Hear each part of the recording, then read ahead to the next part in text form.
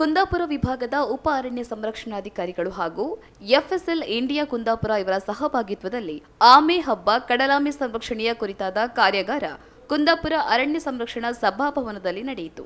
ಕಾರ್ಯಾಗಾರವನ್ನ ಮಂಗಳೂರು ವೃತ್ತದ ಮುಖ್ಯ ಸಂರಕ್ಷಣಾಧಿಕಾರಿ ಪ್ರಕಾಶ್ ನೇತಾಳರ್ಕ ಅವರು ದೀಪ ಬೆಳಗ್ಗೆ ಉದ್ಘಾಟಿಸಿದರು. ಈ ವೇಳೆ ಮೋಜಣಿದಾರರು, ಗ್ರಾಮ ಅರಣ್ಯ ಸಮಿತಿ ಸದಸ್ಯರು ಹಾಗೂ ಸ್ಥಳೀಯ ಮೀನುಗಾರರು ಸೇರಿದಂತೆ ಅನೇಕರು ಭಾಗಿಯಾಗಿದ್ರು. ಬೇರೆಯವರ ಮಾಹಿತಿ ಬಂದು ನಂತರ ನಾವು ಏನಾದ್ರು ಅದ್ರ ಬಗ್ಗೆ ಕಾರ್ಯಕ್ರಮ ಇದ್ರ ಬಗ್ಗೆ ಮಹತ್ವ ತಿಳಿಸಿದ್ರೆ ನಿಜವಾಗಿ ನಮಗೆ ಕಾರ್ಯಕ್ರಮ ಯಶಸ್ವಿ ಸಿಬ್ಬಂದಿ ನಮ್ಮ ಪ್ರಭಾಕರ್ ಅವರು ಕಲ್ಯಾಣಾಧಿಕಾರಿ ಅವರಿಗೆ ಧನ್ಯವಾದಗಳನ್ನು ಸಲ್ಲಿಸ್ತಾ ಇದ್ದೇನೆ. ಯಾಕಂದರೆ ಇಂಥ ಕಾರ್ಯಕ್ರಮ ಮುಂಚೆ ಆಗಿದಂಗೆ ನನಗೆ ನೆನಪಿಲ್ಲ. ಬಟ್ ಆಗಿದ್ರೆ ಒಳ್ಳೆಯದು ಇಲ್ಲಾಂದರೆ ಇದು ನಿರಂತರ ನಿರಂತರವಾಗಿ ಆದರೆ ಇನ್ನೂ ಒಳ್ಳೆಯದಂತೇಳಿ ನನ್ನ ಅಭಿಪ್ರಾಯ.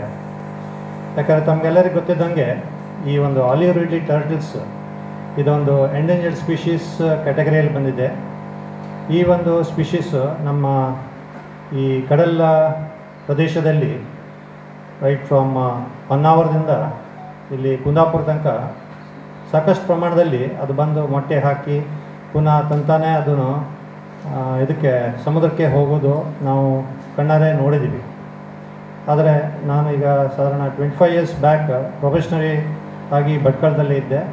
ಸೊ ಅವಾಗೂ ಸಹ ಅಲ್ಲಿ ಒಂದು ಈ ಥರ ಒಂದು ಡಿಪಾರ್ಟ್ಮೆಂಟ್ ವತಿಯಿಂದನೇ ಒಂದು ಸಣ್ಣ ಪ್ರಮಾಣದಲ್ಲಿ ನಾವು ಆಮೆಯನ್ನು ಜನರು ಅದಕ್ಕೆ ಮಾರಾಟ ಮಾಡ್ತಾಯಿದ್ರು ಸೊ ಅದನ್ನು ನಿಲ್ಲಿಸೋದಕ್ಕೆ ಸಲುವಾಗಿ ಅಲ್ಲಿ ಒಂದು ಸಣ್ಣ ಒಂದು ಪಾಂಡ್ ಥರ ಸ್ಥಾಪನೆ ಮಾಡಿಕೊಂಡು ಇದೇ ಥರ ಹ್ಯಾಚಿಸ್ ಹ್ಯಾಚ್ಲಿಂಗ್ಸ್ ಮಾಡಿ ನಾವು ಅದಕ್ಕೆ ಸಮುದ್ರಕ್ಕೆ ಬಿಡ್ತಾಯಿದ್ವಿ ಸೊ ಅದರ ನಂತರ ನಿರಂತರವಾಗಿ ಕಾರ್ಯಕ್ರಮ ನಡ್ಕೊಂಡು ಬಂದಿದೆ. ಆದರೆ ಆವಾಗಿನ ಪ್ರಮಾಣದಲ್ಲಿ ಮತ್ತು ಇತ್ತೀಚಿನ ಪ್ರಮಾಣದಲ್ಲಿ ನಾನು ಕಂಡಿದ್ದಂಗೆ ಸಾಕಷ್ಟು ಪ್ರಮಾಣದಲ್ಲಿ ಅದನ್ನು ಕಡಿಮೆ ಆಗಿದೆ.